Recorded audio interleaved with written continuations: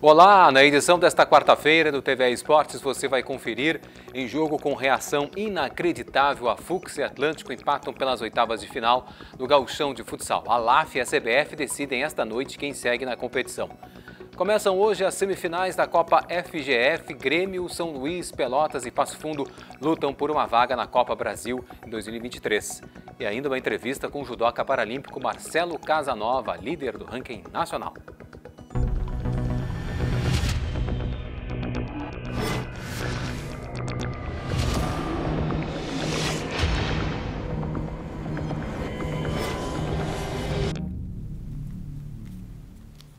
Muito bem, bom dia.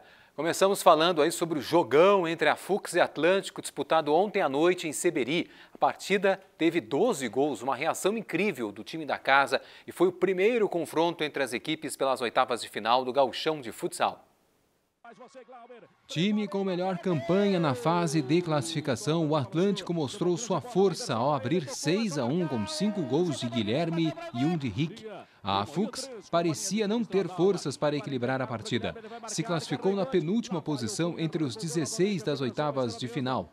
Chapinha tinha feito o solitário gol na primeira etapa, mas na metade do segundo tempo, a Fux teve uma reação fulminante. Marcou cinco gols, um atrás do outro. Faltavam quatro segundos para o apito final, quando o capitão Mack empatou num tiro livre. Final, a Fux 6, Atlântico também 6, para delírio dos torcedores de Seberi.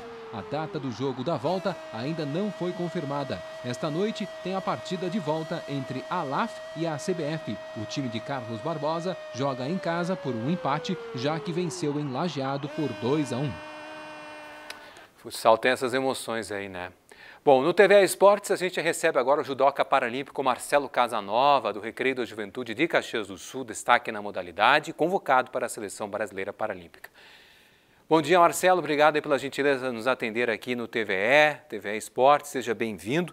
Bom, esse ano de 2022 aí foi um ano importante para a tua trajetória, né? Um ano, sem dúvida, né? Grande trajetória. Bicampeonato do Grand Prix Nacional do Judô, né? Uh, é, primeiramente, bom dia a todos. Obrigado ao TVE pela, pelo convite, por abrir esse espaço aí para o nosso trabalho. E é, esse ano aí uh, conseguimos o bicampeonato do Grand Prix Nacional, uh, convocações para a seleção brasileira, treinamentos em São Paulo, competições internacionais e agora o Mundial no Azerbaijão. Isso aí, o Mundial Azerbaijão, justamente pelo fato de ser líder no ranking, né? É, esse, essa é uma das importâncias de ser líder no ranking, né? A convocação também para a seleção paralímpica, não é? Uh, é, uh, no início do ano já fui começando a ser convocado, antes mesmo da, dos dois Grand Prix, por conta uh, de alguns resultados no ano anterior, de jogos escolares e, e o próprio Grand Prix de 2021 comecei a ser convocado no início desse ano. Aí tiveram dois Grand Prix. Aí com o título dos dois eu consegui a convocação para um Grand Prix internacional que teve em São Paulo. E agora o Mundial no, Azerbaijão, dia 9 de novembro. 9 de novembro. Como é que tá, como é que funciona a tua, a tua a tua justamente assim a tua rotina de treinos uh, como é que se diferenciou até mesmo esse ano 2022 aí o, o, algumas das razões para encontrar aí para ter esse ano 2022 tão tão vitorioso, hein, Marcelo?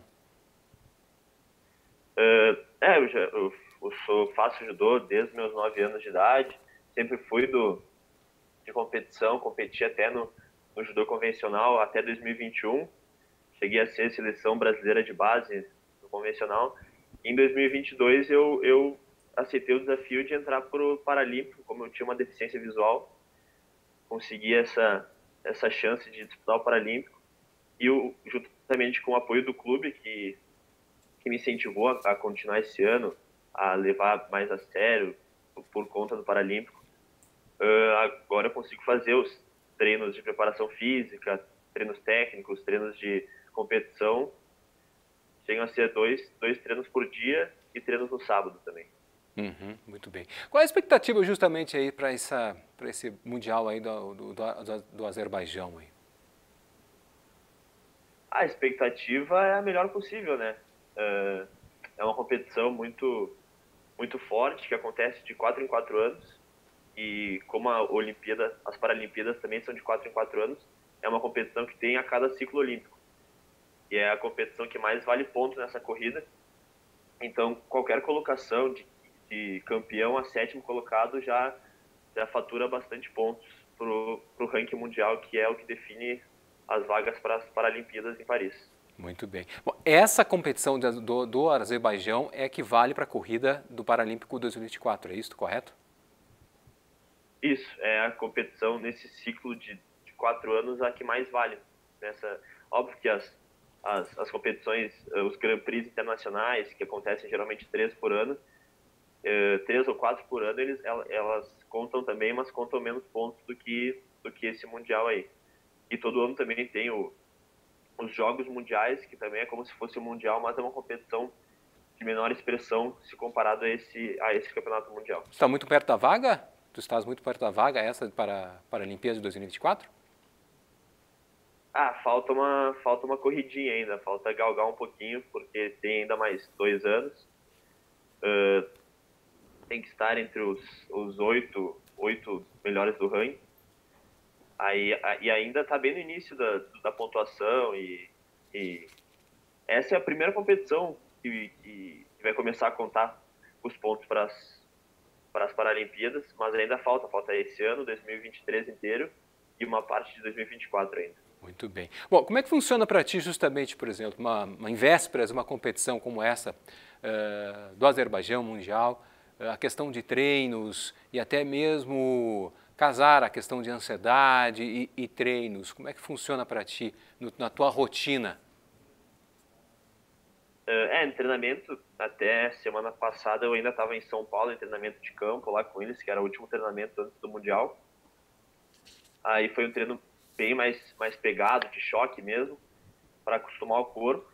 Aí chegar aqui em Caxias para continuar essa preparação mais, mais em choque para semana que vem, na outra, uh, diminuir a, a, carga de treinos para chegar lá no, no, dia da competição uh, descansado e, e podendo dar o melhor. E a ansiedade a gente vai controlando, vai estudando os adversários, vai pensando nas possibilidades e vai tentando se tranquilizar. Justamente. Tem, os trabalho, tem um trabalho mental também por trás, né, Marcelo? Isso aí é, é fundamental sim, sim. justamente na, naquele momento da luta ali, né? né? Ali tem que ter muito sangue frio ali, porque é uma luta uh, uh, rápida, vamos dizer assim. E qualquer qualquer detalhe, qualquer errinho pode custar pode custar a vitória ou derrota. Então a gente tem que entrar com a cabeça centrada, tem que ali na hora da, da luta, se alguma coisa não saiu como como planejava, tem que buscar o plano B, o plano C para não virtuar muito e, e tentar conseguir a vitória. Exatamente. Marcelo Casanova aí, judoca paralímpico, se destacando e também aí convocado para a seleção brasileira, vai disputar em Azerbaijão esse campeonato mundial. Atleta da categoria 90 quilos J2. Marcelo, obrigado pela gentileza conosco, boa sorte e a gente com certeza vai estar de olho e atualizando aí. Tá bom? Um grande abraço, valeu. Eu, eu que agradeço aí a, a oportunidade e, e, a, e a, o espaço que estão dando para a gente falar nosso esporte. Sem dúvida. Valeu. abração. Tchau, tchau. Valeu. No tênis, o gaúcho Rafael Matos está nas quartas de final da chave de duplas do ATP 500 da Basileia, na Suíça. Na estreia, Rafael Matos e seu habitual companheiro, o espanhol Davi Vega Hernandes, precisaram de duas horas e meia para vencer de virada a dupla dos italianos Fábio Fonini e Simone Bolelli por 2 sets a 1, parciais de 5-7, 7-6 e 10-6 no chamado Super Tiebreak.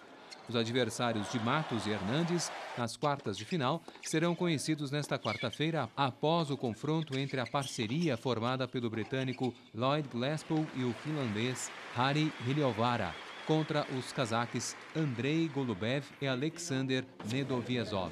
Competição do nível 500 do circuito da ATP, a Associação dos Tenistas Profissionais, o torneio da Basileia é disputado em recinto fechado com quadras de piso duro.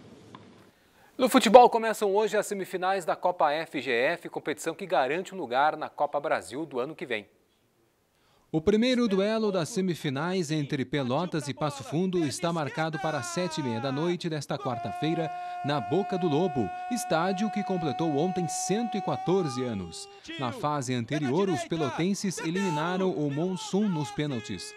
Já os passofundenses, que ganharam todos os jogos até aqui, passaram sem problemas pelo Garibaldi. A partida de volta acontece no sábado às quatro da tarde no Vermelhão da Serra. E amanhã, na outra semifinal, a equipe de transição do Grêmio recebe às três da tarde o São Luís, outro time com 100% de aproveitamento na competição. O embate decisivo no estádio 19 de outubro ocorre na segunda-feira, às 8 horas da noite. Os Jogos Sul-Americanos deste ano foram disputados em Assunção, no Paraguai. A delegação brasileira conseguiu, após oito anos, retomar a hegemonia na competição. Um dos destaques no atletismo foi uma atleta gaúcha. Teve natação, ciclismo, basquete, skate e muitas medalhas. Foram duas semanas de muita competição. A edição dos Jogos Sul-Americanos reuniu mais de 6.800 atletas de 15 países. Foram disputadas 53 modalidades. Destas, 41 fazem parte do programa dos Jogos Olímpicos. A delegação brasileira contou com 459 atletas. E uma delas teve esta torcida especial aqui em Santa Cruz do Sul. Os Jogos Sul-Americanos, disputados em Assunção, no Paraguai, marcaram a retomada da hegemonia brasileira na competição. Esta foi apenas a terceira vez que o Brasil ficou em primeiro lugar. No total, foram conquistadas 319 medalhas. Duas delas vieram na pista com a Jaqueline Weber. A primeira medalha foi nos 1.500 metros rasos. O bronze veio em uma prova que ela pediu à Confederação Brasileira de Atletismo para competir.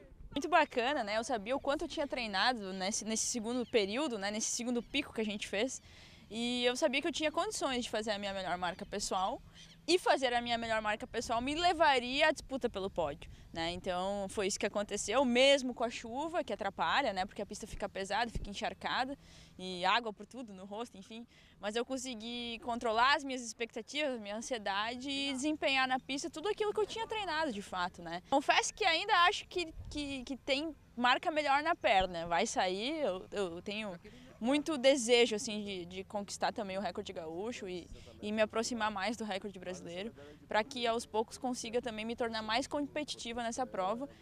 Já na sua especialidade, a prova dos 800 metros rasos, outra medalha, desta vez de prata, mas com um sentimento de que está se aproximando da uruguaia Débora Rodrigues, principal concorrente. Eu queria o título, né? Porque o título classifica uh, a atleta para os Jogos Pan-Americanos.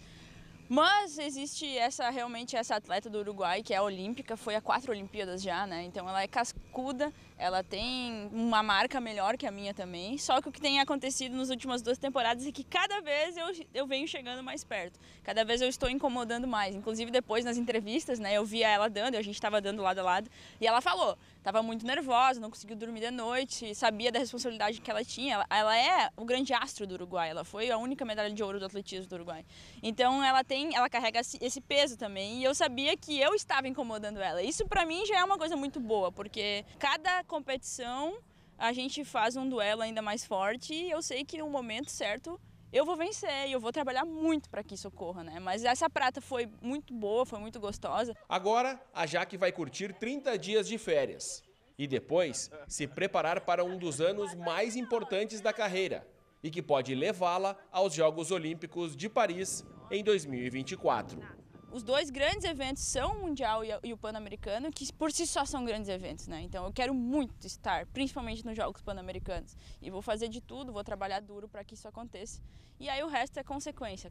A Olimpíada vai ser consequência né, dessa minha trajetória no próximo ano e também em 2024, para que a gente consiga com calma né, e progressividade uh, atingir cada objetivo, culminando nos Jogos. O programa de hoje vai ficando por aqui. Você pode nos assistir no site da TVE ou no Facebook ao vivo. Nós voltamos amanhã ao meio-dia. Até lá.